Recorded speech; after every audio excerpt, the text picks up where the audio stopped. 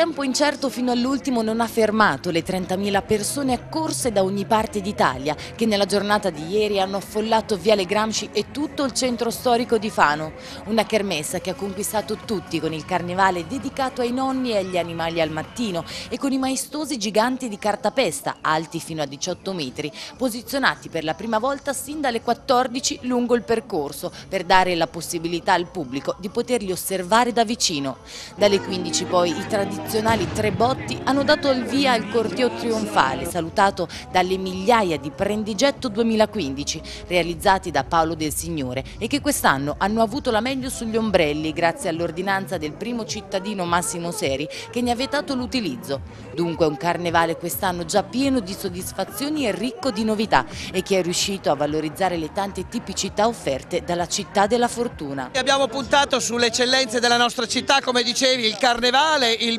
brodetto, la moretta del carnevale e la romanità. Tutte le eccellenze di Fano quindi racchiuse nel carnevale che chiaramente è l'iniziativa, la, la, festa più importante della nostra città. Devo dire veramente grazie a tutto lo staff della Carnevalesca, a tutti i volontari, a tutti i carristi, i trattoristi, alla protezione civile che ci hanno dato una grossa mano per far sì che questa manifestazione sia riuscita nel migliore dei modi. Grazie a tutti, buon carnevale, vi aspetto l'8 e il 15 qua da noi. Ad aprire la sfilata sono stati gli sbandieratori e i tamburi del gruppo storico La Pandolfaccia, il Pupo, realizzato da Paolo Furlani e Gomma Piuma per caso e il Bugiardon. A seguire le due opere disegnate e realizzate da Matteo Angherà e Luca Vassilic, Halloween Circus Party 2015, su cui sventolava una bandiera italiana con un esplicito riferimento benaugurante al nuovo Presidente della Repubblica Sergio Mattarella e inoltre la forza delle maschere, inno d'amore al Carnevale. In corteo anche il suggestivo Le battaglie del Metauro, realizzato da Paolo Furlani e Gomma Piuma per caso,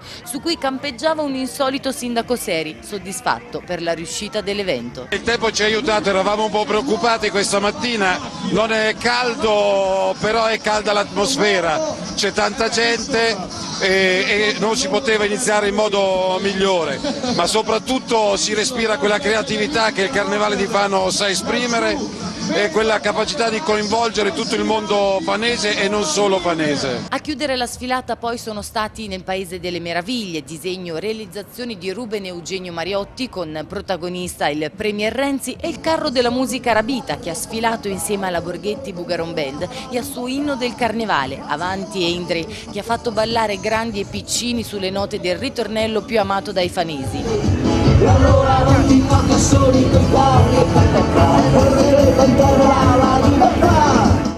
Decine i quintali di dolciumi lanciati sulla folla dai carri di prima categoria, ma in pista presenti anche quelli di seconda, come Tedagel Brudette di Daniele Mancini Palamoni e Allegria, realizzazione disegno di Giorgio Bargnesi, presenti nel Sambodromo Fanese insieme alle mascherate I Mignon, realizzazione dell'Associazione Laboratorio Geniale, Costa Parchi, realizzata sempre dal medesimo laboratorio e da Daniele Mancini Palomoni, Caccia Grossa di Acqualagna e le bici di Montegranaro, divertimento, balli e sorrisi anche sulle tribune riempite da centinaia di mascherate. Ad aggiudicarsi il primo premio del concorso Miglior Palco Mascherato è stato il gruppo Whatsapp Palco 37 e 38 39, seguito dal dolcissimo Tiramachi 32 e 33 e da I Love Spritz Palchi 34 e 35. Infine la festa si è spostata in piazza 20 settembre grazie alla collaborazione del Comitato Apriamo il Centro con il concerto del Diavolo e l'Acqua Santa e l'estrazione poi dei premi della lotteria Lotteria